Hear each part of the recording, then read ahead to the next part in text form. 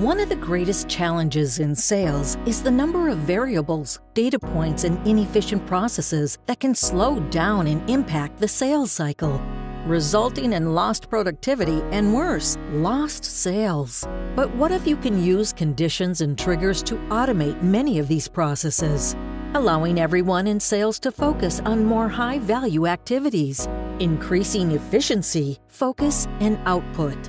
Well, now you can with the new Pipeliner CRM Automatizer. With this new tool, you can create automated processes with if then conditions and multiple actions. As you can see, no technical skills are needed to create these automated processes. The Automatizer is a completely intuitive point and click tool. Now you can eliminate many manual tasks, free up more time to focus on sales, and bring a whole new level of efficiency to your work.